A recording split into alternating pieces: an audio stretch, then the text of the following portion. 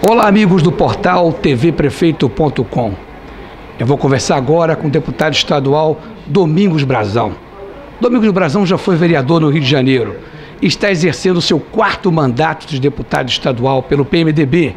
Domingos Brazão foi indicado, foi eleito pelo Comitê da Assembleia Legislativa do Rio de Janeiro, entre os jornalistas, como um dos deputados mais atuantes de 2011. Deputado Domingos Brazão, é um prazer muito grande falar com o senhor. Eu gostaria que o senhor fizesse um comentário de que maneira o senhor recebe essa informação de ter sido eleito pelo Comitê de Imprensa da Assembleia do Rio de Janeiro como um dos deputados mais atuantes do Estado. Olha, primeiramente queria agradecer ao amigo a oportunidade de estar conversando com você e falando para os nossos telespectadores. Queria dizer que estou no quarto mandato de deputado e ter uma notícia de ainda no quarto mandato você ser eleito um dos deputados mais atuantes serve para a gente como um reconhecimento do trabalho, mas acima de tudo como um estímulo para dar continuidade aos desafios que aparecem no Poder Legislativo no seu dia a dia. Né? A gente tem que tomar cuidado para não se acomodar, para procurar honrar cada voto daqueles que nos confiaram de chegar até aqui. O Poder Legislativo do Estado do Rio de Janeiro, um dos estados mais importantes da federação, do ponto de vista cultural e do ponto de vista político, financeiro, o Estado do Rio de Janeiro é um Estado muito importante. Então, a responsabilidade dos legisladores são muito grandes. Né? Fiscalizar o Poder Executivo, acompanhar as ações, ver aonde, como e quanto deve ser investido em cada área. Esse é o papel do legislador. Nós temos grandes colegas na Assembleia Legislativa, temos um quadro de funcionários também muito bom, que certamente contribuíram muito para isso. Tá? Nós temos um corpo dentro do gabinete e também quadros da casa que nos permitem né, receber hoje com alegria esse prêmio. Certamente sem esses funcionários, sem os funcionários que, me, que servem ao meu gabinete e sem os funcionários que servem à Assembleia Legislativa, não seria possível a gente desenvolver o trabalho que se vem desenvolvendo. Então, recebo com alegria, mas divido aí com os funcionários essa oportunidade. Deputado, eu gostaria que o senhor fizesse um comentário sobre a sua trajetória política, já que o senhor está aqui no, exercendo seu quarto mandato de deputado estadual, e depois fizesse um balanço do ano de 2011. A minha trajetória política, eu fui eleito vereador na cidade do Rio de Janeiro em 1996 assumi 1 de janeiro de 1997. Tive uma passagem muito boa na Câmara Municipal. A Câmara do Rio é muito importante, né? a capital do Rio de Janeiro.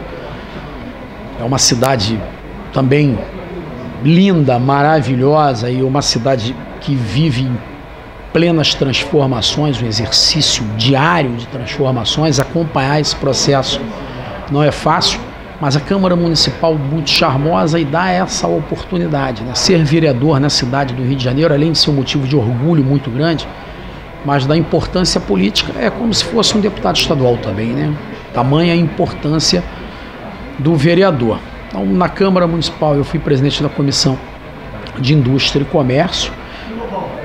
Meses depois, eu tive a felicidade de presidir um bloco suprapartidário Naquela época a Câmara tinha 11 partidos, eu liderei sete dos 11 partidos que compunham a Câmara Municipal e aceitei o desafio de ser candidato a deputado estadual. Por uma coligação que reunia cinco partidos, PTdoB, PHS, PTN, PSE e PV, e fui o deputado mais votado dessa coligação dos cinco partidos. Devo isso aos colegas, aos funcionários e especialmente aos eleitores que me confiaram esse novo desafio, né, de buscar um trabalho maior, não só na cidade, mas aí já abranjando o estado todo.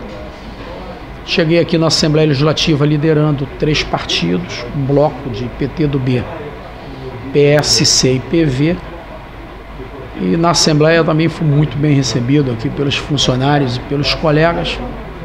Passei por diversas comissões importantes Hoje sou membro efetivo da Comissão de Justiça já há cerca de nove anos.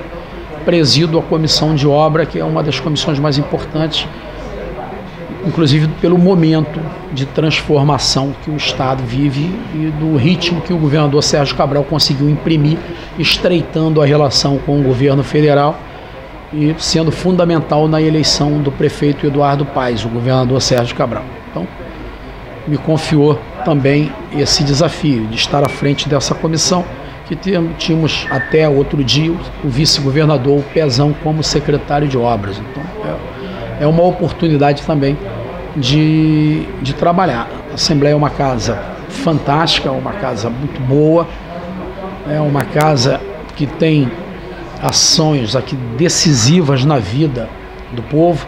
Vale lembrar que no Parlamento Fluminense nós é que aprovamos todos os orçamentos, seja do Executivo, o orçamento do Tribunal de Contas, do Tribunal de Justiça, enfim. Então é uma casa que tem uma responsabilidade enorme.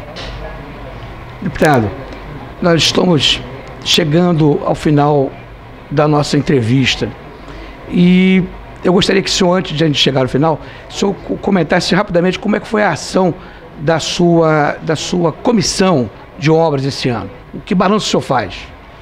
Olha, na comissão de obras, a gente atua em várias comissões, né? Inclusive como membros Presidente do, do, do disso. Mas na comissão de obras, nós estamos, nós focamos no, no ano de 2011 de acompanhar as obras do Maracanã, as obras do PAC, que não são poucas?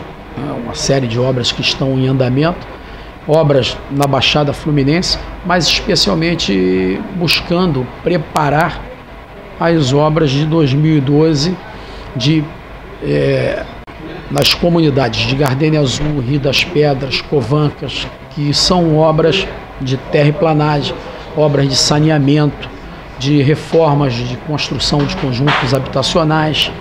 Então, a gente preparou um ano interessante, que eu assumi ela no meio de 2011, mas ainda assim a gente conseguiu avançar bastante e tenho que reconhecer que muito disso também se deve, como eu te disse antes, a um bom relacionamento que tenho com o vice-governador Pezão, que é um homem extremamente determinado, trabalhador, que não tem hora, não tem dia, que, que está sempre à disposição para fazer as coisas, inclusive nos finais de semana. Teve final de semana que eu visitei comunidade com o secretário Pezão. Quer dizer, vice, é um Pezão é, interessante, um cara muito bacana, muito especial e que certamente trabalhou muito, mas que não está cansado. Ainda vai ter muita coisa para o Pezão fazer aí pelo Rio de Janeiro. Deputado, esse ano é o ano de eleição.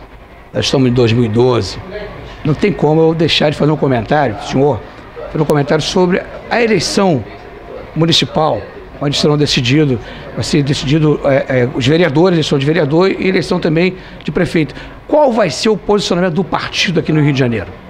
Ah, o PMDB tem candidatos a prefeito, né, candidato a majoritário, cabeça de chapa, na maioria dos municípios.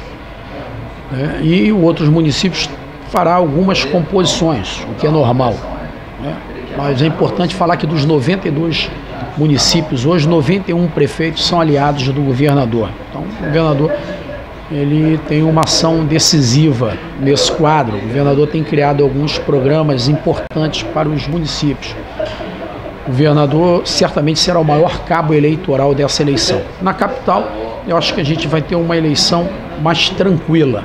Eu acho que a eleição mais tranquila é a eleição da capital. O jovem prefeito Eduardo Paz vem fazendo um trabalho brilhante, as grandes obras, as grandes intervenções, Transoeste, Corredor T5, é, todas as, as, as obras que o prefeito tem é, feito no Rio de Janeiro são coisas que realmente nos dão assim uma certa tranquilidade. Né?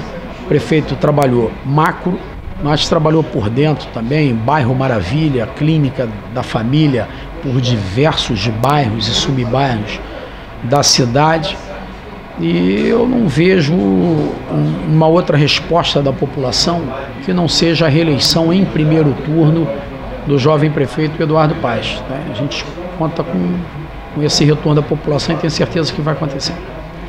Deputado, foi um prazer muito grande conversar com o senhor. Acesse sempre ao portal tvprefeito.com e fique informado da política e dos políticos do Rio de Janeiro e do Brasil.